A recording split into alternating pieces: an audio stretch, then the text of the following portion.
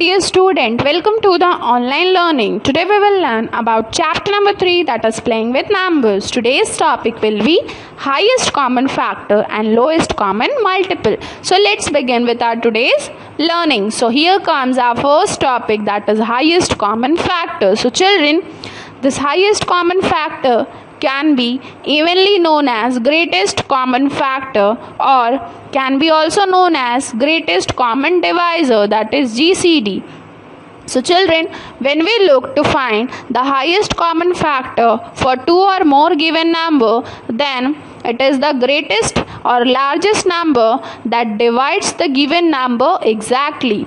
So here, let us understand this thing by taking help of example. So here first of all we have taken a number as 24 and 36 and we have listed the factor for both this number. So while listing the factor for this number 24 you can see the factors are as like 1 2 3 4 6 8 12 and 24 now when i talk about the factor list for this number 36 they are as like 1 2 3 4 6 9 12 18 and 36 now children you can see it very clearly that all the factors that are common in the factor list for both this number that we have indicated using red color but when we look to get the highest common factor,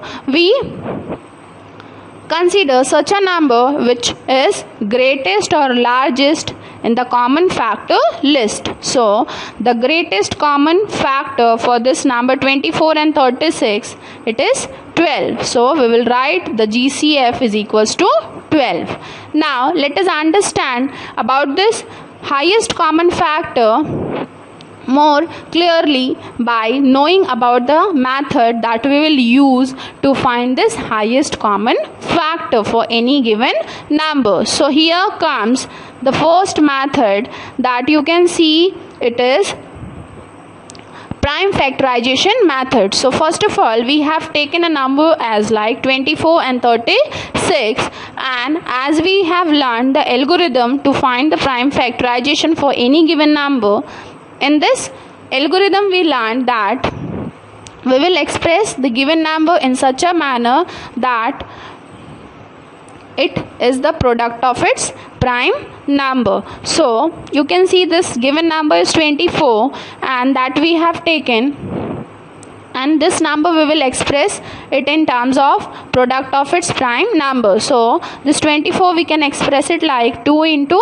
12. Now, again when we have a composite number that means a non-prime number so that number we will again take and that number we will break. In terms of its product of prime number. So again when we break this number 12 we can express it like 2 into 6 and then again in the next step the number which is non-prime that we will take and that number we can break and express it in terms of its factors. So you can see this 6 can be expressed like 2 into 3 okay then when i take the another number that was 36 so again we will express it in terms of its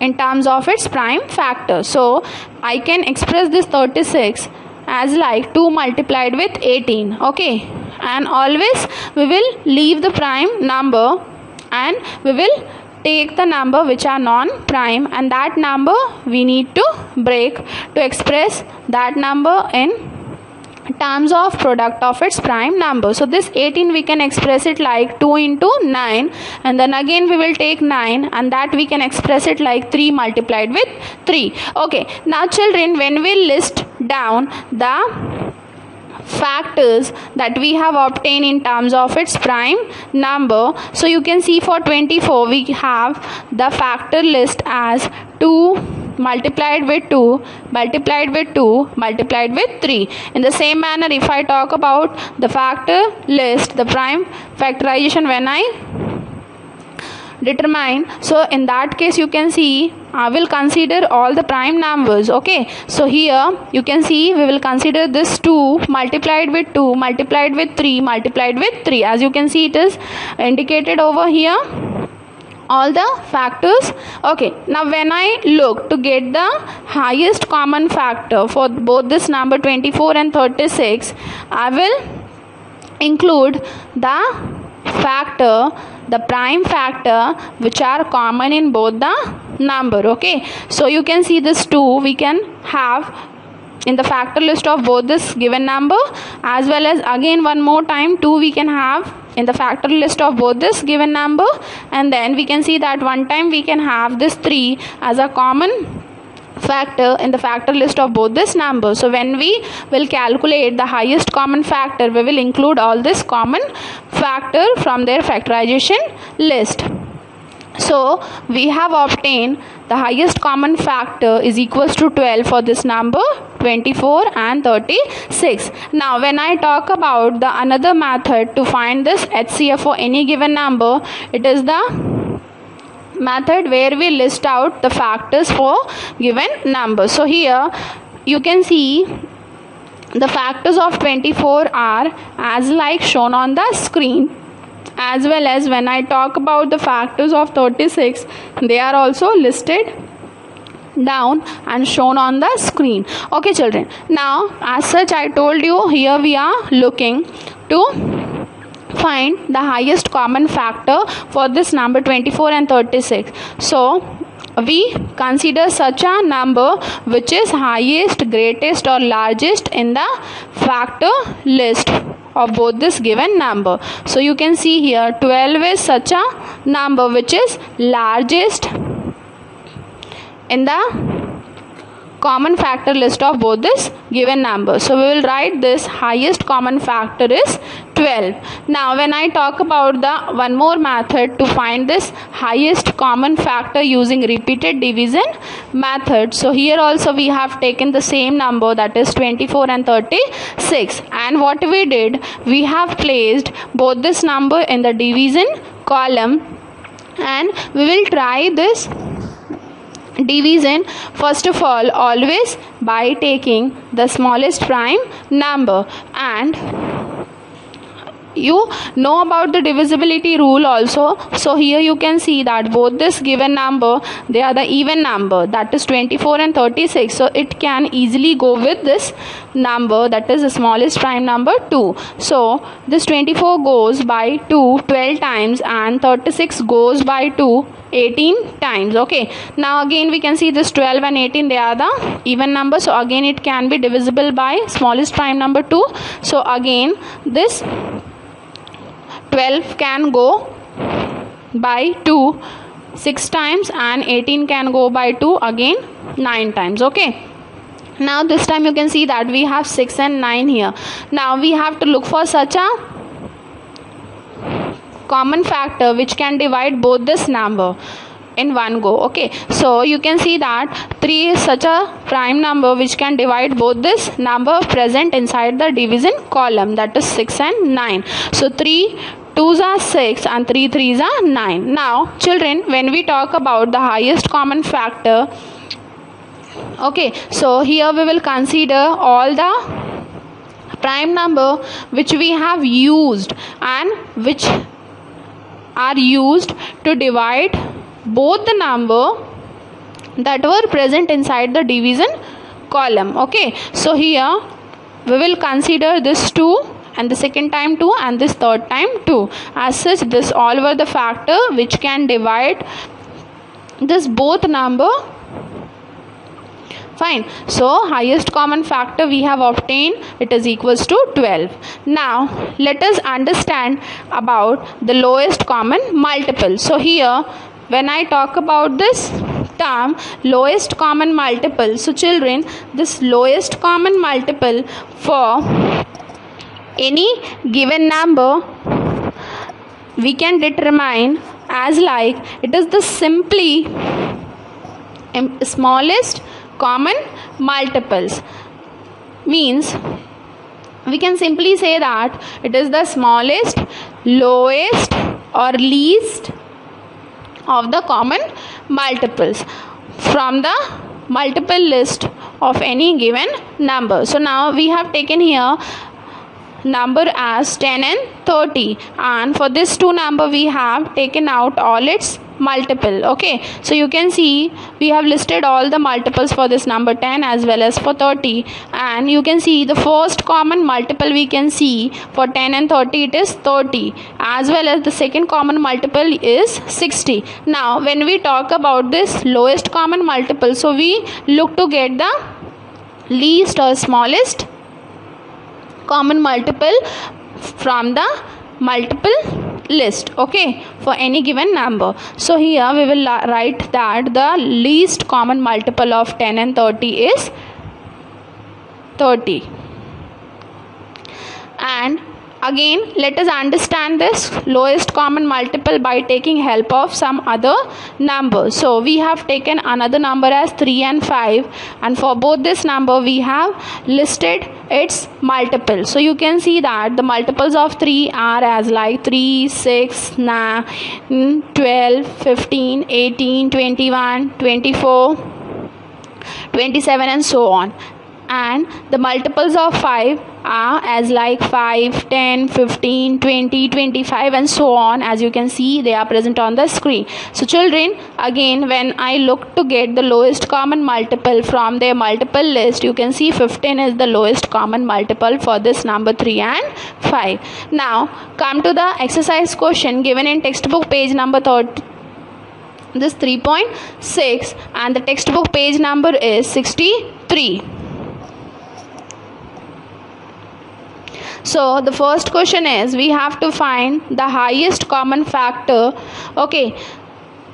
And this question is from exercise 3.6 given in textbook page number 63. So the first number is 18 and 48. For both this number we will find its highest common factor. So children this we will find by using repeated division method. Okay so here we have taken the first number 18 in the division column and that we have divided following the rules what we learned. So here we have taken a smallest prime number 2 and that then with that number we have divided this given number 18 and we know 18 goes by 2 9 times. Again this 9 can go with 3 so that we have divided 3 when we multiplied 3 times we have divided this 9 again then we have read the table of 3 3 one time gives us 3 okay. Then in, again in the next division column we have taken another number that was 48 and that we have started dividing with the smallest prime number